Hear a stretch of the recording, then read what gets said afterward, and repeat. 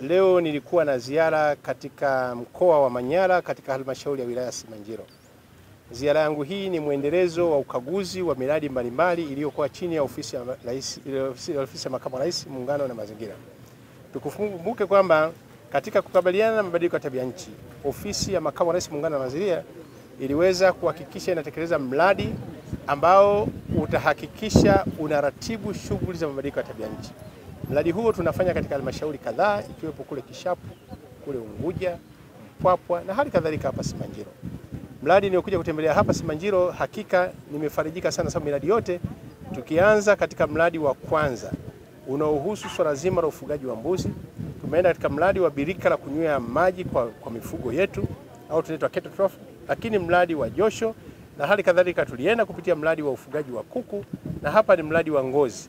Miradi yote kwa kweli nimeona Wanasimanjiro wamejitahidi sana, na hili ndio kauli mbiu yangu ya katika ofisi yangu kwamba miradi yote itekelezwe kwa kuzingatia thamani ya fedha.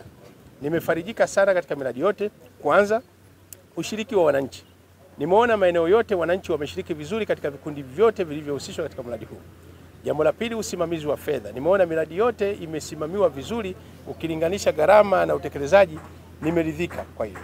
Kwa hiyo kikubwa zaidi, utekelezaji wa mradi huu kwangu mimi umenipa faraja kubwa. Nina imani katika halmashauri zingine ambazo zinatekeleza mradi huu wataendelea kutekeleza mradi huu, lakini agizo langu ni kwamba nimewaelekeza kwamba kabla ya mwezi wa Januari haujaisha, nataka miradi yote ambayo tuelekeza fedha hapa Simanjiro iwe imekamilika, na lengo kubwa kwamba mwishoni mwa mwezi Januari nije kuzindua mradi huu mkubwa wenye maeneo mbalimbali katika halmashauri ya wilaya ya Simanjiro. Binafsi nimefarijika na mradi huu.